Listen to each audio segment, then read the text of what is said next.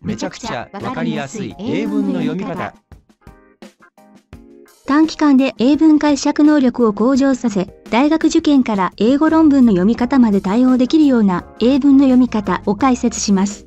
嬉しいことに、この解説動画シリーズを見て、偏差値が40から57まで上がった方や、記述模試で今までは200点満点中50点しか取れなかった方が148点取れたという報告もいただいております。では、早速始めていきましょう。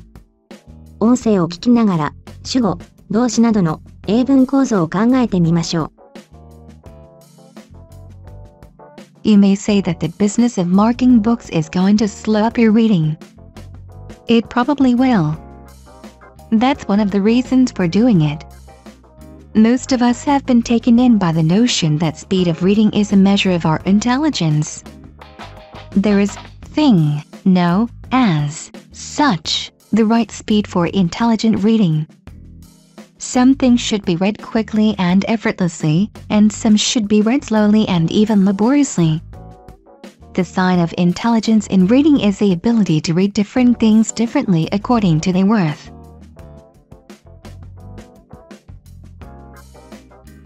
Shugo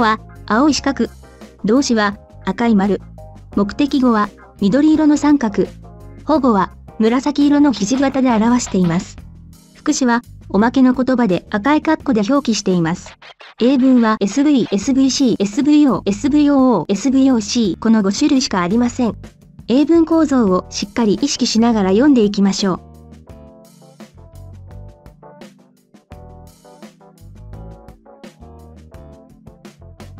You may say that あなたはざっと以下のように言うかもしれませんね。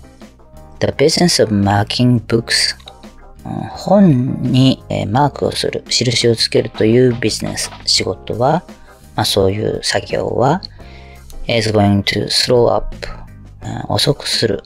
何を ?your reading あなたの読書。本に印をつける作業は、あなたの読書を遅くさせる。というふうに、あなたは言うかもしれませんね。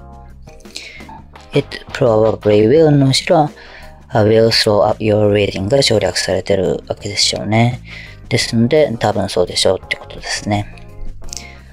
That's それがイコール one of the reasons 理由の一つなんです。for doing it そうすることの、えー、マークをつけることの理由の一つがそれなんですよっていうことですね。Most of us 我々のほとんどは have been taken in take in で取り込むっていう感じでしょうかね。ですので我々のほとんどは取り込まれちゃっていますっていうことですね。えー、何に取り込まれてるのかというと、by the notion 概念、考え方。どういう考え方かというとざっと以下ですね。Uh, speed of reading 読書のスピードは is a measure、えー、物差し、えー、尺度だと of our intelligence 我々の知性の尺度だと。頭良ければ読むスピードも速い。そういう考えに、えー、取り込まれちゃってるっていうことですね。There is あるいるですよね。a thing no as such ここの、the right speed を含めてえー、ライトは正しいって意味でしょうから、正しいスピードなんかは脳があるのに着目してないと。正しいスピードなんていうのはないんだよと。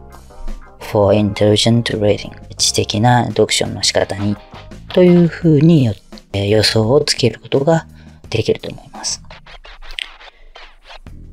Some things いくつかのものは should be read 読まれるべきだと。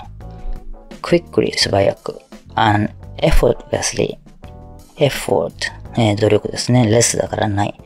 努力しないでってことですね。素早く努力しないで、えー、読むべきものもあるし、some should be read、えー、いくつかのものは slowly and even laboriously、えー、labor、えー、労働ですから、えー、大変な思いをして、えー、ゆっくり読むべきものもある。そんなような意味だと思います。The sign of intelligence 知性のサインですね。in reading 読書における読書における知性のサイン、印っていうのは is equal the ability 能力だと。to read 読む different things differently 違ったものを違った風に読む能力だと。According to 何々に従ってっていう意味ですね。their worth worth は、えー価値っていう意味ですから、その価値に従って違ったものを違った風に読む能力。それが、えー読書における知性のサインなんですよ。そういう意味だと思います。では、問題の方を解いていきましょう。That's one of the reasons for doing it. それが、えーそうすることの理由の一つなんですよ。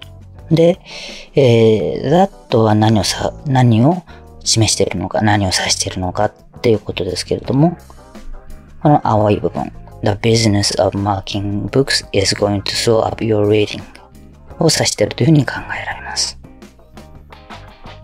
ですから、えー本に印をつけることは、あなたの読書をゆっくりさせる。そのことは、そうすることの理由の一つなんですよ。っていうことですね。綺麗な和訳をしてみれば、本に印をつける理由の一つには、そうすると読書の速度が落ちることにある。このような和訳になるんじゃないかなというふうに思います。次行きます。